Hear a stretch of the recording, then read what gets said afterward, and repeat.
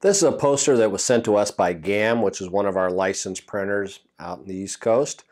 And this was done on their Ricoh uh, L5160 on a metallic stock using white plus CMYK. And the one thing we teach at Color Logic is put metallics in the background.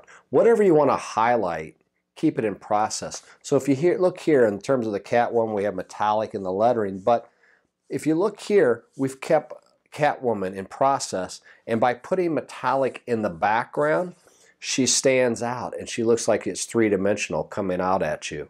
Um, we did put a little security element down here because forgeries are always a problem when you're dealing with artwork. So we've added some dimensional effects into that, utilizing our tools. But pretty much here, it's a straight use of our technology of choosing some metallic colors and then also getting it processed and putting that around her. So again, I want to thank GAM for sending this in to us. Uh, really looks nice. I think it stands out. And it does what it's supposed to. Metallics, put it in the background. Keep whatever you want to highlight and process, and that's how it works.